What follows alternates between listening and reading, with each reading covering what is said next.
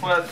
Ja, är det träning så är det ju eh, lite småfix med grejerna ofta. Och som nu så, så är det ju skate och då är det egentligen bara att cykla om skidorna. Annars så är det ju mer ett lite större projekt och man ska hålla fäste och få till de klassiska. Skate är lite enklare så jag väljer hellre det sådana här dagar.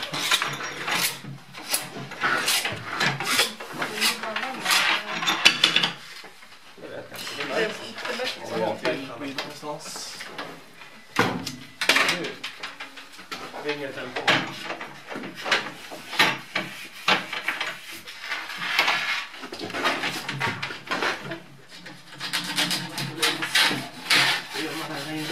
Nu lägger jag på lite blått på den där, ett lager. Sen när ni har bytt om så får ni lägga på mera blå rullvallar när ni får ut.